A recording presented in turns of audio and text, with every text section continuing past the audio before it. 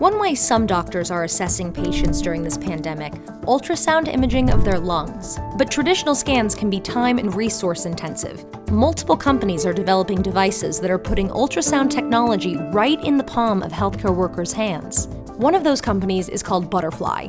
Its portable ultrasound, called Butterfly IQ, allows healthcare practitioners to administer faster, more efficient ultrasounds wherever they're seeing patients butterfly type of things are going to be the examination devices and not the diagnostic devices. The image quality may not be great, but image quality is there. And if I'm going to do a point of care ultrasound on the bedside of a patient, it would give me almost everything that I require. Other companies like GE and Philips have also developed similar devices.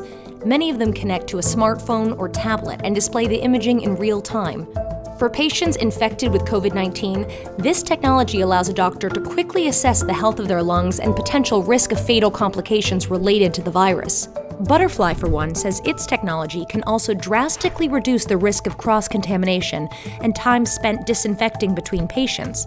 That's especially important during the pandemic. The fact that I can bring a handheld ultrasound system that plugs into a phone into a room do the exam I need, get the information I need, walk out and disinfect a phone and a probe, compared to wheeling in a cart with three different probes on it, doing that same exam. It's really night and day in terms of ease of disinfection.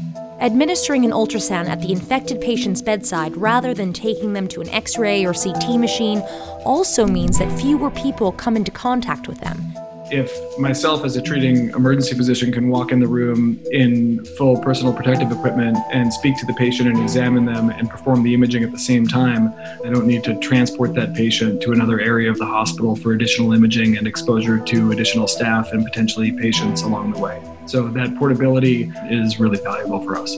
Currently, GE, Philips, and Butterfly's devices range in price from $2,000 to upwards of $5,000. We're not trying to make the Butterfly IQ compare with a $200,000 ultrasound system. So there are certainly some applications that you'd want to go for a comprehensive exam and you wouldn't be having a point of care ultrasound study. Even lung, lung ultrasound outside of COVID, there's a, a lot of applications, and we were using lung sonography to, to look at patients with shortness of breath and chest pain far before COVID, and we'll be using it to look at them long after COVID has hopefully been handled.